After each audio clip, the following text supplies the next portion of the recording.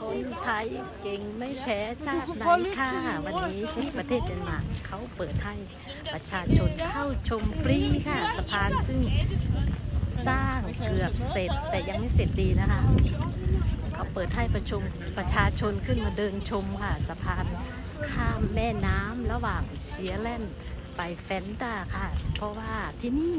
มีแรงงานชาวต่างชาติของหลาย ๆ ประเทศนะคะหนึ่งในนั้นก็คือชาวไทยค่ะ แรงงานไทยเกือบร้อยกว่าชีวิตเลยค่ะ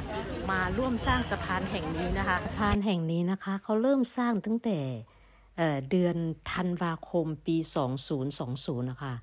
ผู้รับเหมาก่อสร้างก็คือบริษัทอิตาเลียนนะคะ จากที่ได้คุยกับนายช่างสถาปนิกใหญ่ของเรานะคะ เขาบอกว่าเขาเคยทำงานด้วยกันกับบริษัทนี้มา แล้วเขารู้จักว่าฝีมือคนไทยเก่งแค่ไหนอะไรอย่างเงี้ยเขาเลยติดต่อให้มาทำงานด้วยที่ประเทศเดนมาร์กและการมาทำงานที่ประเทศเดนมาร์กถ้าฝีมือคุณไม่เจ๋งจริงนะเข้ามาทำงานที่นี่ไม่ได้นะคะ ส่วนตัวก็เลยภูมิใจอยากสนับสนุนและเป็นแรงใจให้แรงงานไทยในเดนมาร์กและอีกอย่างนะคะสะพานนี้เป็นสะพานที่สำคัญและใหญ่ลำดับที่ 3 ในประเทศเดนมาร์กเลย แล้วมีแรงงานไทยมาทำงานโปรเจกต์ใหญ่ๆ ที่ประเทศเดนมาร์กนี่ และมารวมกันทั้งหมดนะคะ เป็นร้อยนี่ โอ้โห ไม่ธรรมดา